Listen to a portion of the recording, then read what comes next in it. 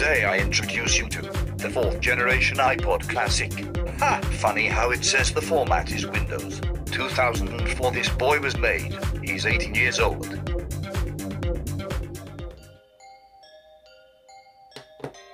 iPods.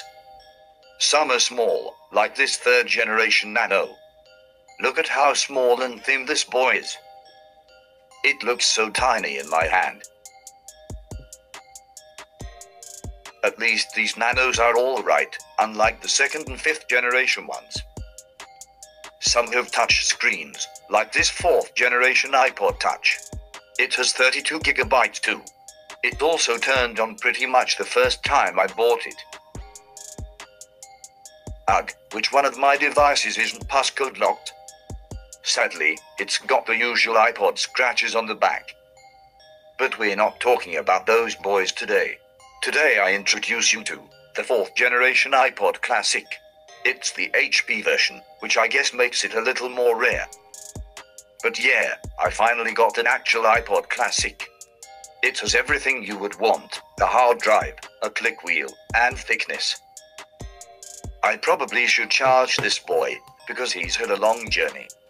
This calls for the 30 pin cable and the old iron ton. Because we haven't seen him in a while. I hope this boy doesn't need warm power to turn on.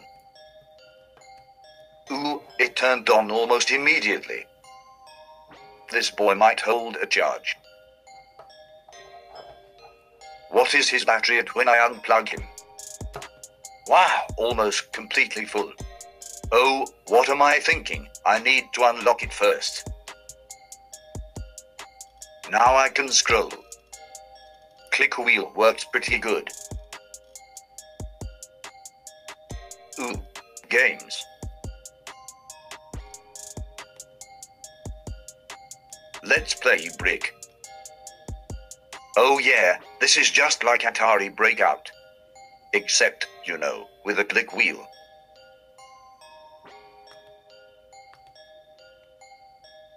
Is there any music on this boy?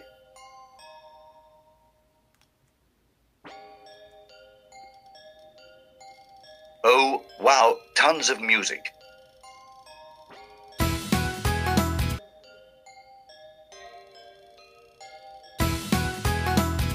This thing is pretty full of music. Also nice to know that the hard drive is still working.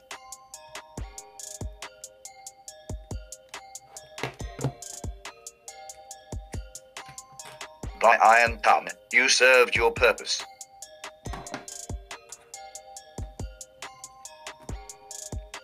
Probably should hook this boy up to the computer to reset him. Let's plug this boy in.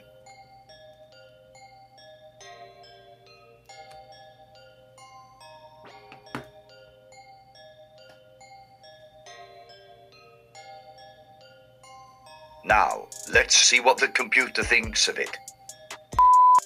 There's the iPod.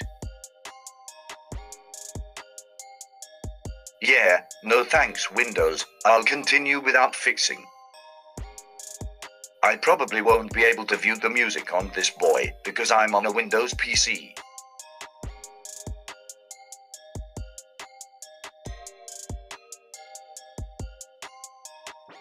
Yeah, I can't view the music.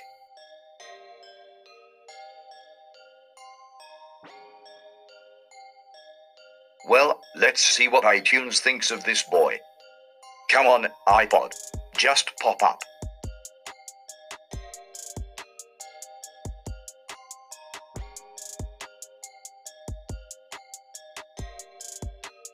What iTunes? You can't do your own job?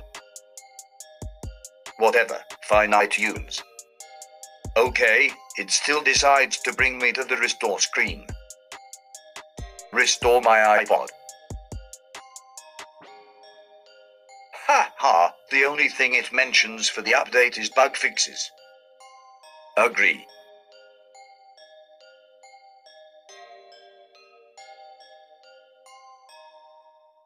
This iPod is a speedy boy.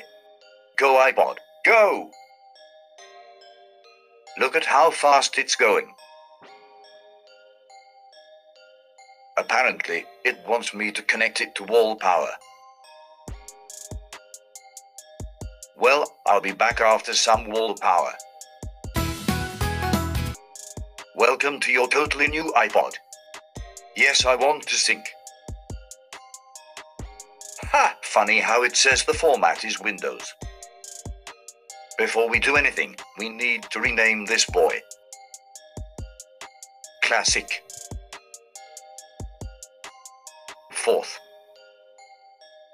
Generation. There we go.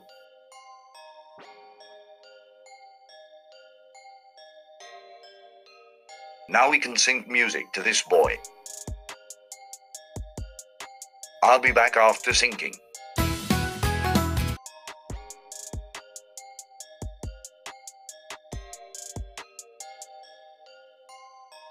Now we just need to set it up and then see if the music works.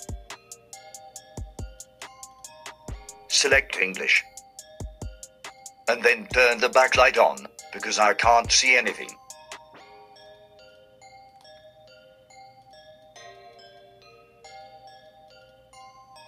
Set the backlight timer to the longest time.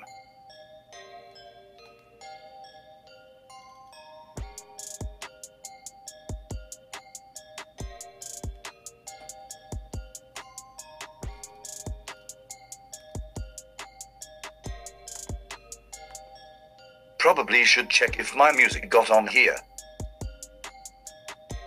Yes, it did. All 585 songs.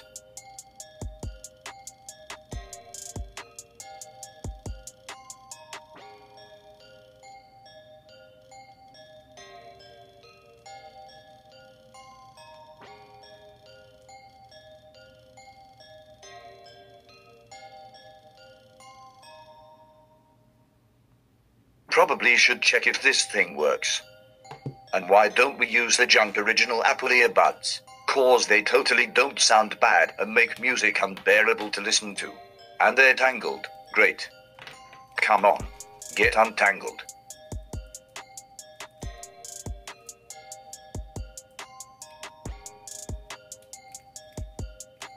There we go, finally. Let's plug this crap into the iPod. Always looks so funny to see the headphones sticking out of the middle. Well, let's attempt to get these in my ears.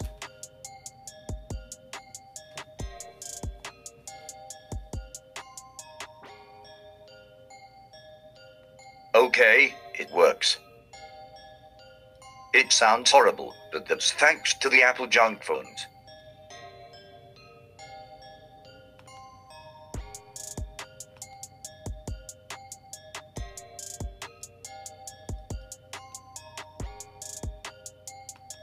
So yeah, this boy works pretty well.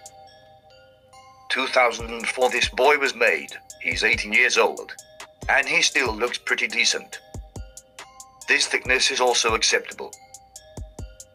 I don't know why, but I love the hard drives in these boys.